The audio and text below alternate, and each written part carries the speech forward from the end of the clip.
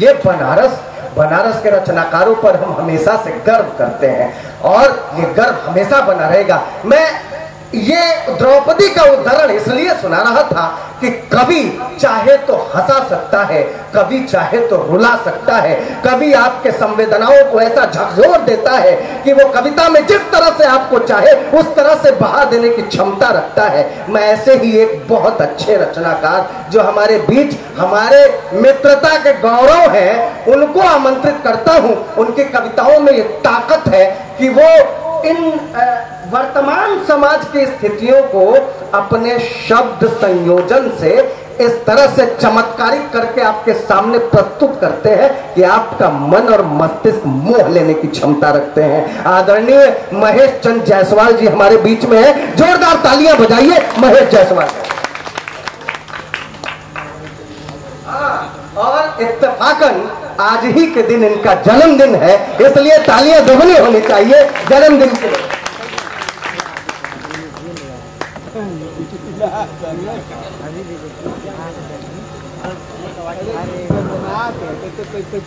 बहुत धन्यवाद, आदरणीय दमदार भैया। मंच पर उपस्थित सभी हमारे साथी और सम्मानित कविगण और सामने बैठे श्रोता। मैं यहाँ विलंब से आया, लेकिन इतना विलंब नहीं हुआ कि किसी भी कवि की रचना मैं सुन ना पाऊँ। मैं सबसे पहले पदार्पण हुआ काव्य पाठ के लिए प्रशांत जी का, और वहीं से मैं सुनते सुनते देख रहा था।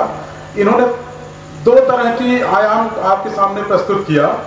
एक तो राम के चरित्र का वर्णन करते करते वहाँ तक आपको जोड़ा, और वर्तमान परिप्रेक्ष्य में सारे दुखों का कारण पत्नी तक ले आकर के आपको सिमटाया। मैं एक बार दोनों को एक साथ जोड़ करके आपको बताने की कोशिश करता हूँ, फिर मैं अपनी मूल कविता आपको सुनाऊँगा कि अगर आज के वर्तमान परिप्रेक्ष्य में रामायण को पुनः लिखा जाए और हास्य के ऐसे पुरोधा उसको पुनः लिखें जो पत्नी प्रहार से पीड़ित हैं तो वो किस तरह से लिखना चाहेंगे? जरा देखें कि पत्नी पीड़ित आधुनिक राम जैसे पति ने, पत्नी पीड़ित आधुनिक राम जैसे पति ने इस बार दूर तक स्वर्ण हिरण का पीछा किया। पत्नी पीड़ित आधुनिक राम जैसे पति ने इस बार दूर तक स्वर्ण हिरण का पीछा किया ताकि सीता हरण हो जाए, ये बला टल जाए। पत्नी पीड़ित आधुनिक राम जैसे पति ने इस बार दूर तक स्वर्ण हिरण का पीछा किया ताकि सीता हरण हो जाए और ये बला टल जाए। वापस आकर उसने जो मंजर देखा तो अपना माथा लिया ठोक क्योंकि आधुनिक राम को हराने के लिए आधुनिक रावण ने सीता हरण के बजाय मंदोदरी को भी दिया छोड़। तो आधुनिक परिवेश में पत्नी पीड़ित रहे और राम के बहुत धन्यवाद बहुत धन्यवाद। हाँ अब दो दो पत्नियों को छोड़ दिया तब वो युद्ध हारेंगे। अब पहले एक पत्नी को हर लिया था तब युद्ध हराने की रणनीति थी। तो रावण ने अपनी अपनी रणनीति बदली। आ, मैं मनीष भैया का बहुत शुक्रगुजार हूँ कि वो अपनी सारी रचनाओं में कहीं ना कहीं मुझे इंगित करते रहे कि महेश जी हिम्मती हैं, पत्नी के साथ आए, महेश जी सात जन्म का और महेश जी ऐसे, महेश जी वैसे। मैं हृदय तल से उनका आभार व्यक्त करता हूँ और मैं ये चाहता हूँ कि किसी से दुश्मनी निकाला जाए तो इसी तरह निकाला जाए कि लाठी भी ना मारनी पड़े पब्लिक में वो बेइज्जत भी हो जाए। और मैं मैं जानता हूँ कि ये लोग मुझे तीन बजे से ही बुला रहे थे, लेकिन मैं नहीं आ पा रहा था। कुछ विशेष कार्यक्रम कवि सम्मेलन के पहले इन लोगों को करना था और मैं उनमें उपस्थित नहीं था तो इन्होंने बदला लिया। तो उसलिए चार लाइन मैं आपको प्रेषित करना चाहता हूँ, महेश भैया, कि उसी का फलसफा कायम, उसी का फलसफा कायम सफ़र जिसका रूहानी था। उसी का फलसफा कायम सफ़र जिसका रूहानी था, कदम धरती पे थे, लेकिन निगाहें आसमानी था। उसी का फल फलसफा कायम सफ़र जिसका रूहानी था, कदम धरती पे थे, लेकिन निगाहें आसमानी था, और निभाई दुश्मनी मैंने सलीके बादशाहत से। निभाई दुश्मनी मैंने सलीके बादशाहत से। उसी का फलसफा कायम सफ़र जिसका रूहानी था, कदम धरती पे थे, लेकिन निगाहें आसमानी था और निभाई दुश्मनी मैंने सलीके बादशाहत सी। अब करोगे याद तुम मुझको कि दुश्मन खानदानी था। करोगे याद तुम मुझको कि दुश्मन खानदानी था। और कुछ लोग इस पे थोड़ा सा अपने बातों में भी बिज़ी हैं कि ये तो सुने ही है सुने ही हैं। उनके लिए चार लाइन मैं कहना चाहूँगा कि आप मुझे थोड़ा सा ध्यान से सुन लें, क्योंकि ध्यान और धन दोनों एक दूसरे के समानुपाती हैं। आपका जितना ध्यान कम होगा, आपके लिफाफे में धन उतनी ही कम कर दी जाएगी। अच्छा आग्रह दूसरे तरह से भी मैं करना चाहता हूँ कि मेरे हौसला अफजाई में भी कुछ कमी हो जाएगी, क्योंकि श्रोता कम हो गए हैं और आपका ध्यान भी कम हो जाएगा तो शायद मैं मर जाऊँगा। तो मैं कविता के माध्यम से ज़िंदा रहूँगा आपके सामने। मेरे है ना? मैं कहना चाहूँगा कि किसी का हौसला टूटा, किसी का हौसला टूटा किसी के कम निगाही से। किसी का हौसला टूटा, किसी के कम निगाही से, और तुम्हें जो इल्म होता तो मैं जीता बेगुनाही से। किसी का हौसला टूटा, किसी के कम निगाही से, और तुम्हें जो इल्म होता तो मैं जीता बेगुनाही से। तुम्हारी गर तमन्ना थी, करो बर्बाद तुम मुझको। तुम्हारी गर तमन्ना थी, करो बर्बाद तुम मुझको तो मेरी भी खालिश बाकी की गुजरू उस तबाही से। तुम्हारी घर तमन्ना थी करे बर्बाद तुम मुझको तो मेरी भी खलिस बाकी, कि गुजरू उस तबाही से, और कहूँ जो कुछ। कहूँ जो कुछ तो कहना है शिकायत तेरी नज़रों का। कहूँ जो कुछ तो कहना है शिकायत तेरी नज़रों का। शिकस्त दिल ने मांगा है जुबा बंदी इलाही से। कहूँ जो कुछ तो कहना है शिकायत तेरी नज़रों का। शिकस्त दिल ने मांगा है जुबा बंदी इलाही से। और किसी का हौसला टूटा, किसी के कम निगाही से। अच्छा मैं आपको बता दूँ कि गज़ल मेरी मूल विधा नहीं है, इसलिए आपको अपने असली जो मैं हिंदी कविता करता हूँ, उसके लायक बनाने के लिए ये दो तीन चीज़ें हमने कह दी, ताकि आप अगर इसको झेल लेंगे तो हमको विश्वास हो जाएगा कि आप हिंदी कविता झेल लेंगे। और अगर वो झेल लेंगे, तब मैं उससे बड़ा वाला सुनाऊँगा। तो तो मैं एक हिंदी कविता सुनाना चाहता हूँ। मनीष भैया आपका ध्यान चाहूँगा और कुछ त्रुटि हो तो उसके सुधार के लिए भी आपसे लास्ट वाला सेशन में लूँगा। जीत किसके लिए? आप ध्यान दीजिएगा, हम लोग हास्य और छिटपुट और हल्के मंचों पे बहुत चीज़ें हो गई। अब थोड़ा सा गंभीर और ज़िंदगी के परिवेश को समझते हुए अपने जेहन तक उतारें और ज़िंदगी की यात्राओं को अपने मन में मनन करते हुए इस कविता को सुने। बस यही इसका व्याख्या है। बीच में कोई व्याख्या मैं नहीं करूँगा एक एक लाइन के एक शब्द का। जीवन यात्रा को अपने जेहन में, ध्यान में रखें और इस कविता को ध्यान में सुने। जीत किसके लिए? हार किसके लिए? जीत किसके लिए? हार किसके लिए? ढो रहे हो हृदय भार किसके लिए? जीत किसके लिए? हार किसके लिए? उम्र भर जो छला प्यार किसके लिए? और ज़िंदगी के सफ़र के अहर निष्पथिक ढो रहे हो हृदय भार किसके लिए? जीत किसके लिए? हार किसके लिए? उम्र भर जो छला प्यार किसके लिए? ज़िंदगी के सफ़र के अहर निष्पथिक ढो रहे हो हृदय भार किसके लिए? जीत किसके लिए? हार किसके लिए? पंक्ति देखें इसका और जीवन का पदार्पण। सृजन करता विश्वकर्मा जी के माध्यम से, क्योंकि वो सृजन करते हैं, शंकर भगवान उसको पालते हैं और फिर विष्णु भगवान पालते हैं और शिव भगवान उसको पुनर्स्थापित करते हैं। अपने उपवन में भेजा था पहली दफ़ा, उसने आदम से तुमको बना आदमी। अपने उपवन में भेजा था पहली दफ़ा, उसने आदम से तुझको बना आदमी। फूल तृष्णा के आभा में फंसता गया, आज तक है उसी में फना आदमी। अपने उपवन में भेजा था पहली दफ़ा, उसने आदम से तुझको बना आदमी, फूल तृष्णा के आभा में फंसता गया। आज तक है उसी में फना आदमी। फूल किसके लिए? फूल किसके लिए? खार किसके लिए? फूल किसके लिए? खार किसके लिए? किस लिए यह कवच? वार किसके लिए? ज़िंदगी के सफ़र के अहर निष्पथिक ढो रहे हो, हृदय भार किसके लिए? अब यात्रा शुरू होती है, देखें। पंथ के युद्ध में पथ पराजित हुआ। पंथ के युद्ध में पथ पराजित हुआ, ज्ञात भी ना मिला और आगे अभी। जिस कहते माया मिली न राम। पंथ के युद्ध में पथ पराजित हुआ, ज्ञात भी ना मिला और आगे अभी। अज्ञान की उष्णता सांकेतिक ही थी, पथ प्रदर्शित भी था और पाथे अभी। पंथ के युद्ध में पथ पराजित हुआ, ज्ञात भी ना मिला और आगे अभी ज्ञान की उष्णता सांकेतिक ही थी पथ प्रदर्शित भी था और पाथेय भी। ज्वार किसके लिए? ये तपन किस लिए? ज्वार किसके लिए? किस लिए ये सुलह? रार किसके लिए? ये तपन किस लिए? ज्वार किसके लिए? किस लिए ये सुलह? रार किसके लिए? ज़िंदगी के सफ़र के अहरनिश पथे ढो रहे हो। हृदय भार किसके लिए? अंतिम पंक्ति, धर्म अर्थ मोक्ष को दो लाइन में समेटित करने की कोशिश किया हूँ। ध्यान से सुने जरा सा कि जीत किसके लिए, हार किसके लिए, उम्र भर जो छला, प्यार किसके लिए। अंततः जो जिया, सब प्रतीक्षित ही था। अंततः जो जिया सब प्रतीक्षित ही सब सब पोस्टपोन कि बच्चे की शादी हो जाएगी, तब ये करेंगे, उसका एडमिशन हो जाएगा, तब तीर्थ करने जाएँगे। अपनी इच्छाओं को हमने हमेशा आगे के लिए तक टाला पोस्टपोन किया जीवन जीने के लिए, परिवार चलाने के लिए। उस पर एक यात्रा करें दो लाइन में कि अंततः जो जिया सब प्रतीक्षित ही था, धर्म धारूँगा होकर निवृत्त काम से। अंततः जो जिया सब प्रतीक्षित ही था धर्म धारूँगा होकर निवृत्त काम से अर्थ का भी चयन था, मेरा ही चयन। बस समय ना मिला राम के नाम से। अंततः जो जिया सब प्रतीक्षित ही था धर्म धारूँगा होकर निवृत्त काम से अर्थ का भी चयन था, मेरा ही चयन। बस समय ना मिला राम के नाम से। भव नदी किस लिए, धार किसके लिए?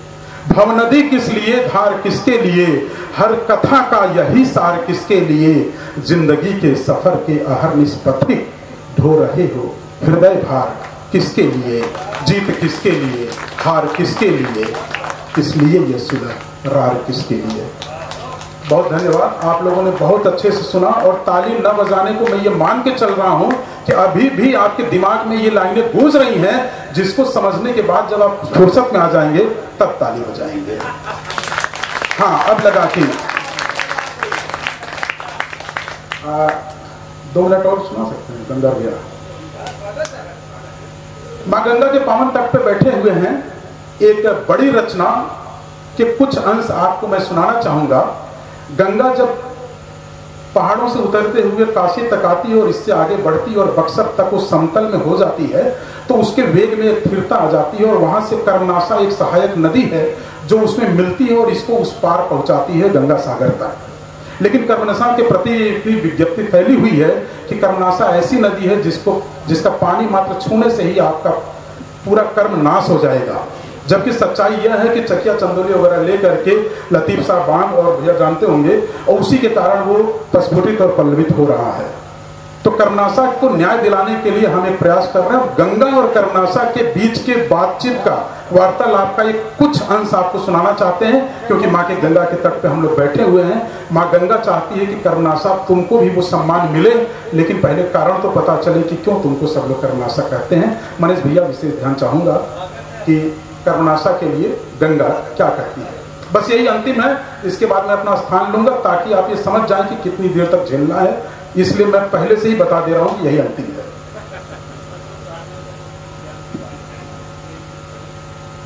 नहीं हम प्रेम की बात संकेतों में कर दिए हैं। आ, देखें जरा से ध्यान से। गंगा क्या कहती है? एक तरफ़ गंगा बन करके सोचिएगा फिर कर्नासा बन के सोचिएगा कि मोक्ष मिल जाए धरा को पहले समझाया गया। मोक्ष मिल जाए धरा को पहले समझाया गया। फिर तपस्या करके मुझको स्वर्ग से लाया गया। मोक्ष मिल जाए, धरा को पहले समझाया गया, फिर तपस्या करके मुझको स्वर्ग से लाया गया। क्या करूँ? हूँ प्रफुल्लित, डूब जाऊँ शोक में। क्या करूँ? हूँ प्रफुल्लित, डूब जाऊँ शोक में। मुझको बहना है बहु उस लोक या इस लोक में। द्वंद से पूरित हृदय था, कौन धारेगा मुझे? क्या पता इस लोक का ही देव तारेगा मुझे? जब गंगा स्वर्ग से आ रही थी तो उसको क्या पता था कि पृथ्वी पे क्या हमारी हस्र होने वाली है? तो शिव के जटा में ही उसको विराजमान है। इसकी उसको जानकारी हुई कि द्वंद से पूरित हृदय था, कौन धारेगा मुझे? क्या पता इस लोक का ही देव तारेगा मुझे? मानकर अपनी नियति में इस धरा पर आ गई। देव स्थल जम्मू हिम शिखर पर छा गई। मानकर अपनी नियति में इस धरा पर आ गई। देव स्थल जम्मू दीपे हिम शिखर पर छा गई। लोकेश से, ऋषिकेश तक, हरिद्वार तक, उद्गार से। गंगा की यात्रा देखें। लोकेश से ऋषिकेश तक, हरिद्वार तक, उद्गार से, आगे बढ़ी काशी चढ़ी खुद के संचित भार से। अब तलक की यात्रा में वेग था, उमंग था, पत्थरों को काटने का एक पहाड़ी ढंग था। सामने परिदृश्य समतल मुझको भरमाने लगा, सामने परिदृश्य समतल मुझको भरमाने लगा। वेग में भी थीरता और छिड़ता आने लगा। सामने परिदृश्य समतल मुझको भरमाने लगा। वेग में भी छिड़ता और थीरता आने लगा। पाप को भी नाश करने का सहारा चाहिए ही। मुझ नदी को एक अविरल तेज धारा चाहिए ही। तब सहारा देने मुझको पास एक आई नदी। गुम हुआ अस्तित्व जिसका बन के परछाई नदी। कर्मनाशा नाम था पर एक अलग व्यवहार देखा। कर्मनाशा नाम था पर एक अलग व्यवहार देखा। कर्मनाशा के उलट वो कर्म का उपहार देखा। कर्मनाशा से उलट वो कर्म ऐसा कर गई। मैं सभी को तारती क्या? खुद उसी से तर गई।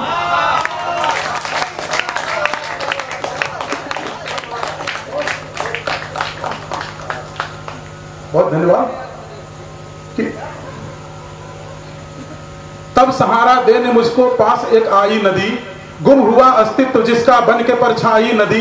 कर्मनाशा नाम था पर एक अलग व्यवहार देखा। कर्मनाशा के विरुद्ध कर्म का उपहार देखा। कर्मनाशा से उलट वो कर्म ऐसा कर गई। मैं सभी को तारती, क्या खुद उसी से तर गई। तार कर मुझको, मुझी में खुद भी वो बहने लगी। तार कर मुझको, मुझी में खुद भी वो बहने लगी। प्रश्न का मुख भाव देख कर बद्ध हो कहने लगी। तुम रहो निर्मल सदा पर मुझको एक अधिकार दे दो। तुम रहो निर्मल सदा, पर मुझको एक अधिकार दे दो। वेदना, बाधा विशद अपमान का संसार दे दो। पर तुम्हारी मान्यता को रंच भर भी ठेस होगा। आस्था विहीन नर का अर्ध सत परिवेश होगा। हूँ अमान्य, मैं अगर उस श्राप संग दिन काट लूँगी।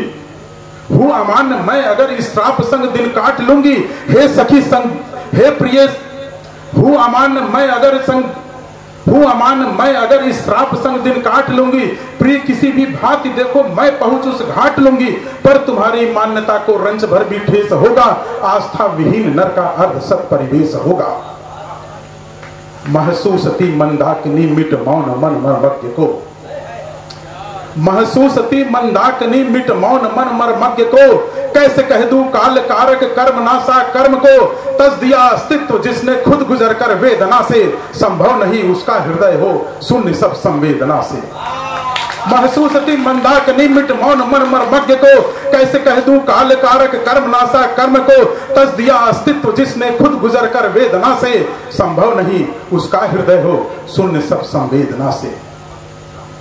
पूछती तब जानवी झिझोड़ कर अंतर्गथा पूछती तब जानवी झिझोड़ कर अंतर्गथा कर्म नासा, तुम बताओ, कर्म नासा की कथा? पूछती जब जानवी झिझोड़ कर अंतर्गथा कर्म नासा, तुम बताओ, कर्म नासा की कथा? क्यों तुम्हारी हर कहानी आह विचलित कर रही है? क्यों तुम्हारी हर कहानी आह विचलित कर रही है? आदि तेरा, अंत तेरा प्रश्न किंचित कर रही है। क्या तुम्हें यह भान है कि हम नदी का धर्म क्या है? गंगा धिकार रही है कि तुम कर्म को नाश करती हो। क्या तुम्हें यह भान है कि हम नदी का धर्म क्या है? सारे सरिता मुख कलंकित नरबली का मर्म क्या है? अस्तित्व पर पाचोट गहरा पट हृदय की खोलती है। अस्तित्व पर पा चोट गहरा पट हृदय के खोलती है। नीरपय का भेद करके कर्म नाशा बोलती है। अस्तित्व पर पाचोट गहरा पट हृदय के खोलती है। नीरपय का भेद करके कर्म कर्मनाशा बोलती है। हाँ हाँ मुझे यह याद है कि सत्य क्या है, धर्म क्या है, पाप क्या है, पुण्य क्या है, भाव क्या है, मर्म क्या है। सन्निकट अपने तटों पे सभ्यता विस्तार हो। नील हो या टेम्स हो या सिंधु की वो धार हो। पोषना सारे सजीवों को नदी का धर्म है। कर्म को ही नाश कर दूँ, ये ना अपना कर्म है। जिस मनुष्य को माँ ने अपना निष्पय अमृत दिया, जिस मनुष्य को माँ ने अपना निरपय अमृत दिया कर्म नाशा की उपाधि निज स्वार्थ में उसने दिया। पर तुम्हारी कर्मनाशा सोच पर ही खेद है। कर्म और फिर कर्म में देखो तो गहरा भेद है। एक तरफ़ पे कर्म है जो स्वर्ग की सीढ़ी चढ़ा, एक तरफ़ पे कर्म के आधार पे पीढ़ी बढ़ा, एक तरफ़ निस्वार्थ तुम ताकती भागीरथी, एक तरफ़ तो लोभ से पैदा हुआ निस्वार्थी, और एक तरफ़ निस्वार्थ तुम तारती भागीरथी, एक तरफ़ निस्वार्थ तुम तारती भागीरथी। ये कुछ अंश थे कर्मनाशा और गंगा के बीच में, और हमें लग रहा है कि इसको यहीं पे विराम देना चाहिए, और बहुत आभार, बहुत धन्यवाद। भाई, एक बार और आपके धन्यवाद की तालियाँ इनको मिल जाए। ये बहुत बड़ी बात है। एक तो इतनी अच्छी रचना और इतने कठिन शब्दों का चयन, ऊपर से सभी सभी शब्दों को याद करना कितनी बड़ी बात है। आज आपका जन्मदिन है। मैं आपके सारे मित्रों से आग्रह करता हूँ एक एक माला पहना करके इनको जन्मदिन की बधाई दे। इससे बढ़िया सम्मान और क्या हो सकता है? हर बार आप जन्मदिन ऐसे मनाइए, खुश हो के कायनात में खुशियाँ लुटाइए। जीवन में आपके न कोई गम रहे, कोई हम दिल से दुआ कर रहे हैं, मुस्कुराइए। बस आप मुस्कुराते रहिए और जन्मदिन ऐसे ही मनाते रहिए। बाबा विश्वनाथ, आपको और आपके पूरे परिवार को सुखी रखे।